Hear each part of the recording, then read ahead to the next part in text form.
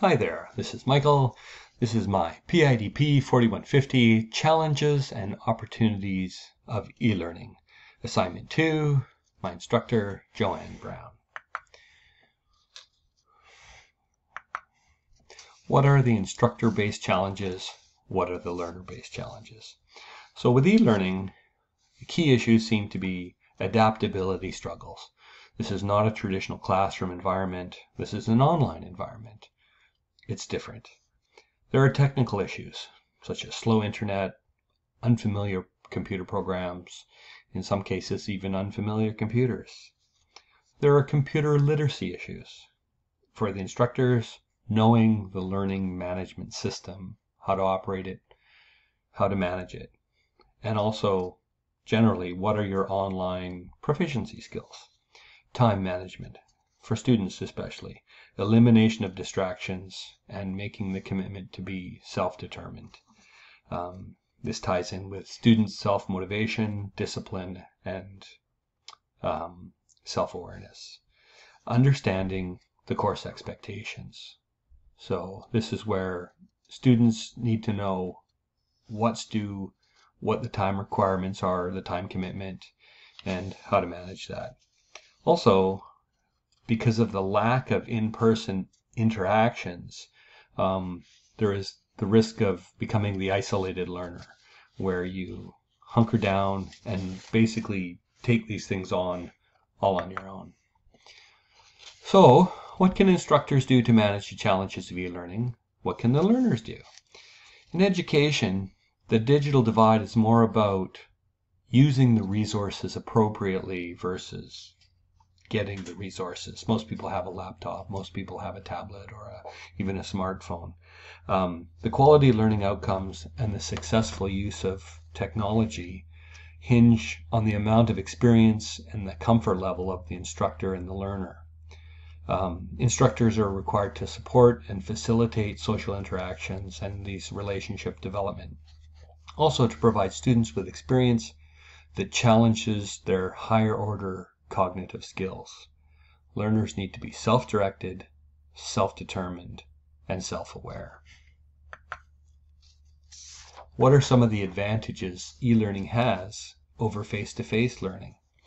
Well, for starters, e-learning is very flexible. Learners can study in the space where they feel most comfortable. In most cases, they are self-paced. If a learner doesn't grasp a concept, they can go over it many, many times until they do. Or if they're really stuck, they can go on the class bulletin board, post questions, get answers, have discussions, and um, interact with other students. Learners really have complete control over the amount of time they spend learning. Also, learning occurs anytime, any place, and anywhere the learner chooses. What are some of the best practices for teaching online? Well, instructors need to be present in the course. They need to be more than just a hand on the overhead and a voice in the background. Instructors need to create a supportive online community, such as discussion posts, online bulletin boards, etc.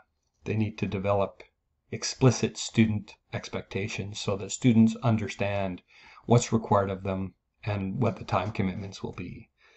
They should use a variety of groups, large and small, and they should try to, where possible, use synchronous and asynchronous activities. I think synchronous activities is a little more challenging with an online environment because synchronous activities take away from the flexibility as they have to get everybody together at the same place at the same time online. Um, it's important for instructors to get feedback early and that way they can determine what needs to be done to modify or, or support specific learners if they're having challenges. And one of my personal kind of sticklers is good audio and good video, well lit. Um, I find these really important, especially audio. You can put up with slightly less than perfect video, but the audio absolutely needs to be great. Um, some additional best, best practices. Um, instructors need to assess as they go by gathering evidence.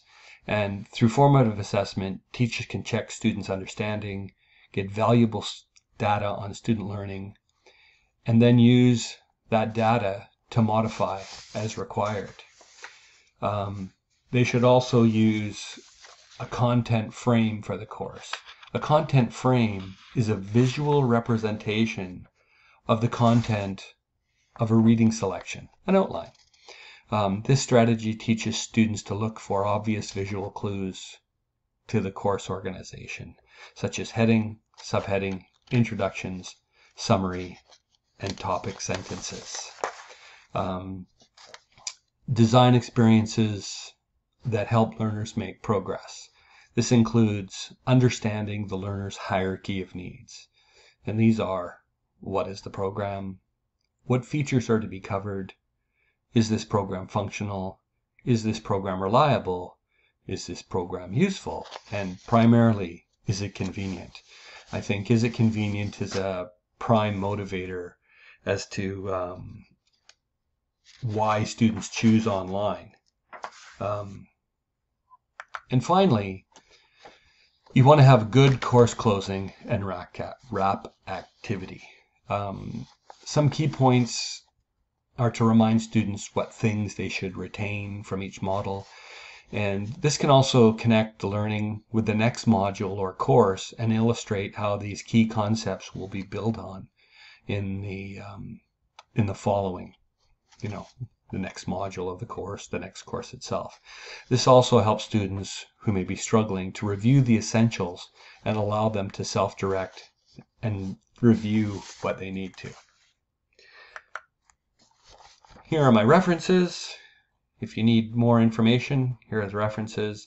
Um, I will post the complete text of what I've said in a um, another additional um, blog entry on my blog. So just for your information, this was recorded using a Blue Yeti microphone and um, captured on my Logitech webcam.